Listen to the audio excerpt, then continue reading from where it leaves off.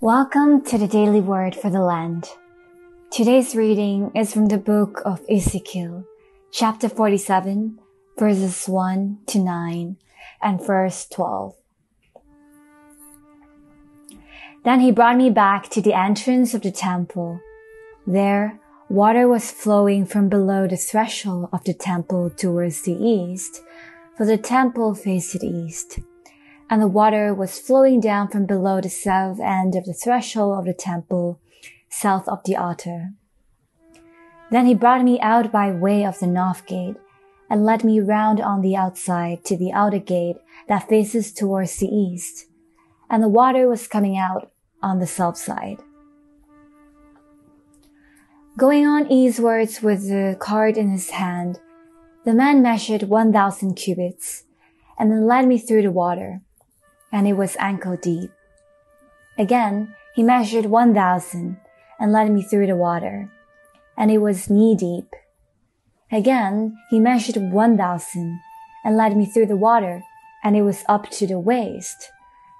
Again, he measured 1,000, and it was a river that I could not cross, for the water had risen. It was deep enough to swim in, a river that could not be crossed. He said to me, Mortal, have you seen this? Then he led me back along the bank of the river. As I came back, I saw on the bank of the river a great many trees on one side and on the other. He said to me, This water flows towards the eastern region and goes down into the Arabah. And when it enters the sea, the sea of stagnant waters, the water will become fresh. Wherever the river goes, every living creature that swarms will live. And there will be very many fish once these waters reach there. It will become fresh, and everything will live where the river goes. On the banks, on both sides of the river, there will grow all kinds of trees for food. Their leaves will not wither, nor their fruit fail, but they will bear fresh fruit every month because the water for them flows from the sanctuary. Their fruit will be for food, and their leaves for healing. This is the word of the Lord.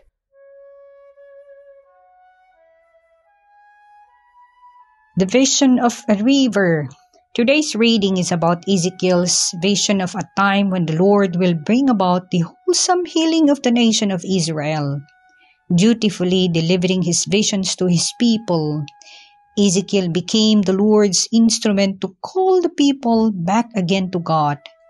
This was the time when the southern kingdom, Judah, had fallen, the temple was destroyed, and the nation was in exile in Babylon.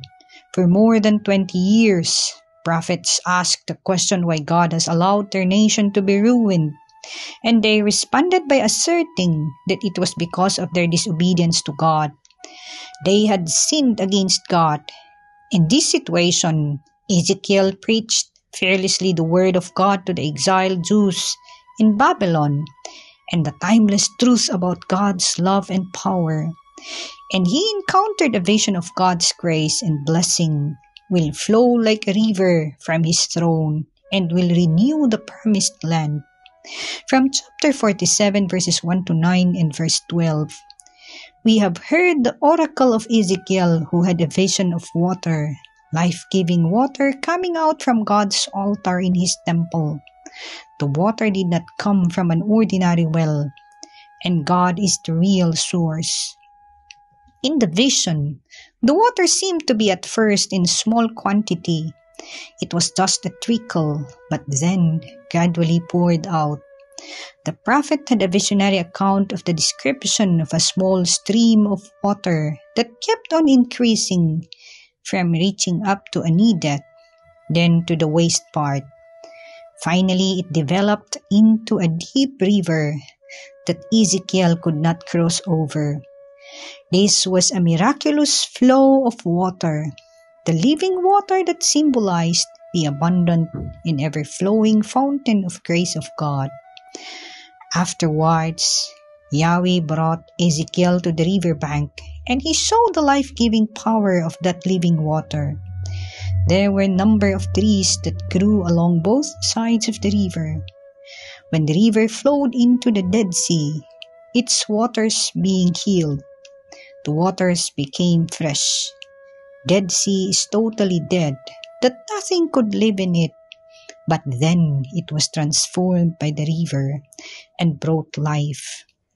Verses 9 to 12 illustrate to us the great life giving power of this gush of water. Swarms of living creatures will live wherever the river flows. There will be large numbers of fishes because this water flows there and makes the salt water fresh. So where the river flows, everything will live. Fishermen will stand along the shore from Engedi to Eglaim. There will be places for spreading nets. The fish will be of many kinds, like the fish of the great sea. But the swamps and marshes will not become fresh. They will be left for salt. Fruit trees of all kinds will grow on both banks of the river. Their leaves will not wither, nor will their fruit fail. Every month they will bear because the water from the sanctuary flows to them. Their fruit will serve for food and their leaves for healing. Wow, what a fantastic image of a paradise that reminds us of the Garden of Eden. That is the story of living water that caused striking changes, pointing to the ultimate source of life. It is from God. This vision reminds us of the living water that Jesus mentioned in the Gospel of John, chapter 4, verses 5 to 30, with the Samaritan woman at the well. One of the stories in the Bible that I love, where a woman was given a new reputation. On verse 14, Jesus answered the woman, Everyone who drinks this water will be thirsty again. Indeed, the water I give him will become in him a spring of water welling up to eternal life. Ezekiel viewed the same living water in his vision. Also from the revelation to John chapter 22 verses 1 to 2, John had a vision of an angel showed to him the river of life, as clear as crystal flowing from the throne of God and of the Lamb down the middle of the great street of the holy city. On each side of the river stood the tree of life, bearing twelve crops of fruit, yielding its fruit every month, and the leaves of the trees are for the healing of the nations. All these symbols of living waters represent the fullness of life with God and the eternal blessings only if we come to Him for quenching our spiritual thirst. Everything will live wherever the river flows. This is a powerful portrayal of a flowing water that brings blessing and miracle. It provided life, growth, vitality, refreshment, and hope. Ezekiel imagined of a water that overcomes death. Truly, this water is a symbol of a kind of eternal life that God wishes us to share with Him. We will live for that day. We should long for that day. We will long for that promise of God to be fulfilled more than anything else in this world. Amen. For our reflection, what effect does the river have? And where does this river come from?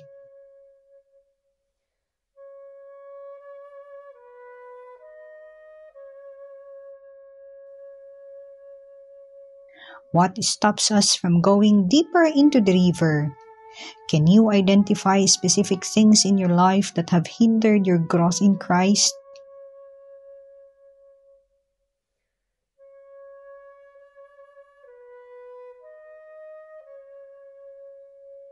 What impression of your future would someone pick up from watching the way in which you live out your Christian faith? Would that impression be anything like Ezekiel's vision for God's people?